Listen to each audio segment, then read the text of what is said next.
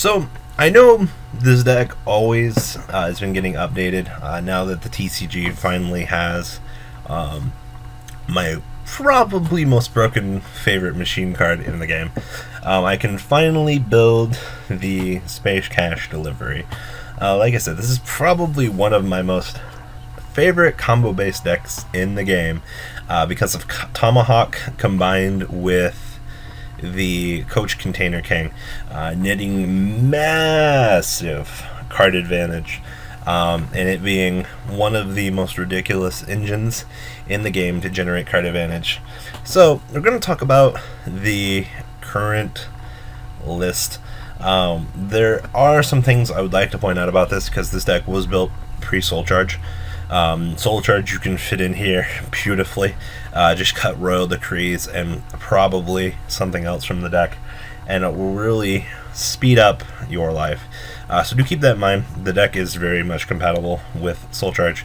Uh, like I said, just minus Royal Decrees, uh, put in Soul Charges, and be my guest at playing uh, this fun deck. Um, so, if you guys don't know, you get two level 7s on the board with uh, Mr. Shinkuro here. Uh, Shinkuro goes, okay guys, uh, you exceed into this guy, you make three burrito. Uh, the burritos, uh, I'll let you draw three at the end. Uh, you go into container at the end and draw uh, more cards. So it's a plus six. Um, if you guys remember me playing Space Cash Delivery quite some time ago, like two, three formats, it's so fun. So, the deck. One cannon, the triple fortress, pretty straightforward.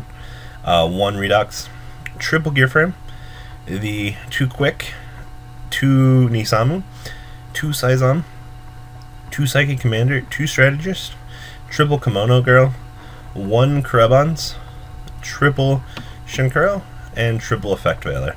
Uh, it's for the spells, the triple instant fusion, one foolish burial, triple MST, the triple emergency teleport, and two royal decree or soul charges, uh, depending on how you wish to play the deck.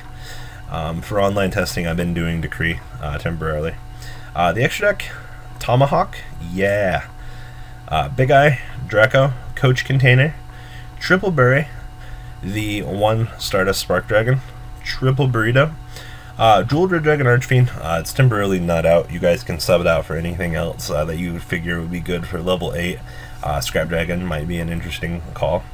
Uh, the one Draco Ascension or Leo, you basically just go into this guy at the end of your uh, raid of level 7 and whatnot, so you can put a Leo in place of this uh, same result. One Star Eater, and uh, the one Cybersaurus or Unicycloid depending on what you want to cut for it. So this is temporarily my update um, for this deck. Guys, leave a comment down below. Tell me what you guys think, and I'm out. I hope you guys enjoyed this video. Please thumbs up this video to show your support. And please check out VanKohl40 for Cardfight Vanguard, MKohl Games for miscellaneous trading card games, and No Limit Gaming for a brand new series of Yu-Gi-Oh videos. Thanks for watching.